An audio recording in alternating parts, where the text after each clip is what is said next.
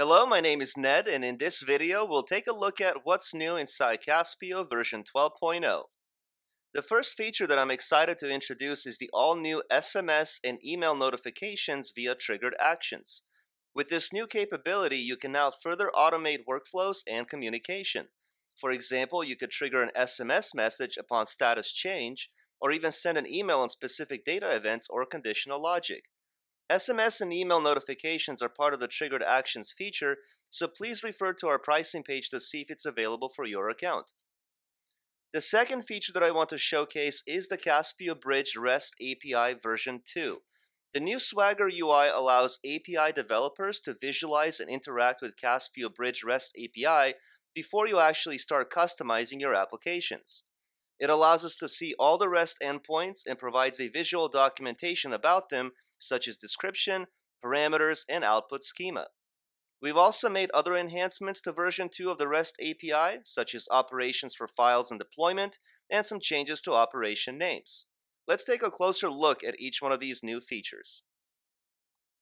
Here's an example of a service request form. I have a condition set to only send an SMS text and email if the request is approved.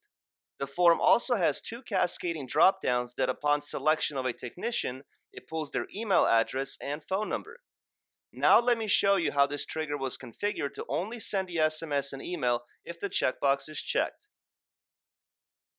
If you click on Actions, you'll notice that we have introduced two new choices, one to send an email and one to send an SMS. I have already configured both and will give you a quick walkthrough.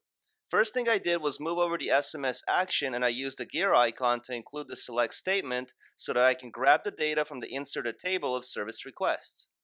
Then I used the where clause to only send an SMS when the checkbox is checked. Lastly, I used the phone number field for the to section and at the end, all I did was customize my SMS message that's being sent out. Here you can also include parameters if you wish to call out certain data entries. The email is actually set up almost the same exact way. The only difference here is that we have to change the to field to the email and include both the subject and the from email address. It's also worth mentioning that you can send an email that contains plain text, or you can switch to HTML if you wish to further customize the body of your email using HTML code. When you're done setting up your trigger, go back to your form, check the box, and click Submit. Now both the email and SMS will be sent simultaneously. You can't see my phone, but I just received the text message and here's the email that just arrived. Now let's take a look at a brief demo of the Swagger UI. Swagger UI is a very popular testing and documentation tool for API developers. Swagger UI makes it easy to learn new APIs and it has the ability to auto-generate documentation of an API and provides an interactive collapse and expand console. Once you have properly authorized your connection via a bearer token, you will have the ability to run different types of requests. We could get information. For example, here we have the ability to get the list of all of our Caspio tables. We could post information to our Caspio account. We could also run a delete request, along with many other types of requests.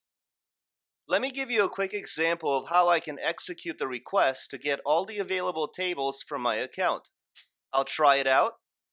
Click on Execute, and in the response body, you will be able to see a list of all of the Caspio tables. It's really that easy. Best practice to learn and test Caspio's REST API is with a copy of your tables so that you can explore the various API options available to you without affecting your live data.